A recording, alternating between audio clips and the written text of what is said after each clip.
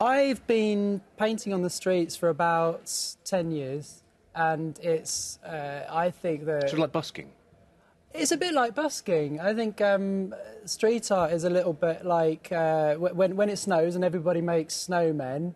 Yeah. Uh, it's kind of a very uh, harmless thing, and I think that in the, done in the right way, it's a real, uh, it's a really powerful uh, social medium. During the commercial break, you expressed an opinion that you'd like to do my picture, but I, and you to. need me to stand I'd up. love so to, I'm going yes, to try and do this without. Um, uh, there are those people, of course, who believe that all protesters are wearing are wearing skirts or something. There All you go, trousers. are. Um, so, uh, do I need to strike a particular pose Stik? Um, that's lovely. You know, that's, that's great. slightly yeah, imperial, I'm just going to get. Yeah. that's very regal. Can you can you talk and draw simultaneously? Yes, I can. Okay. I can. I'm going to get are your you- are you- likeness here.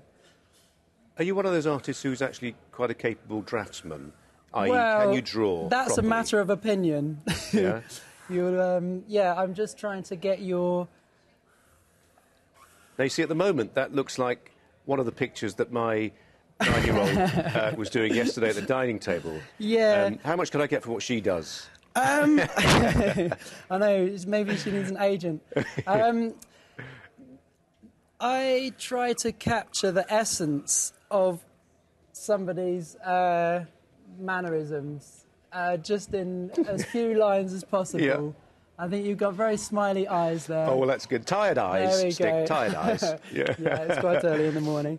And That's it. That's it. Wow. Yeah, that's it. I mean, I would start out with like this, and then I would like to go Yeah. to. A, I'd like to do it on the wall. Maybe I can do it on the wall of your uh, studio. Well, I tell you what, my editor's office is just in there. I think he's out this morning, so he won't mind if you do a bit of, uh, you know, graffiti all over his office. I'm sure. Um, uh, well, beyond the commercial proposition of flogging art, which is, you know, an art unto itself, what are you trying to communicate to people?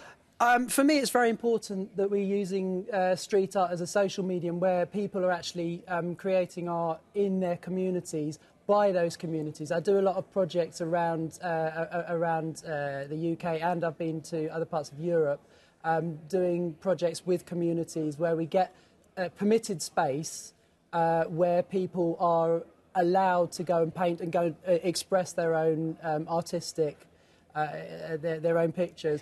Um, I spoke to, I actually bumped into Boris Johnson last week. On his bike? Um, no, he was just coming out of the tube, and I said, Boris, what do you think about street art? And he said, in the right place, I think it's beautiful.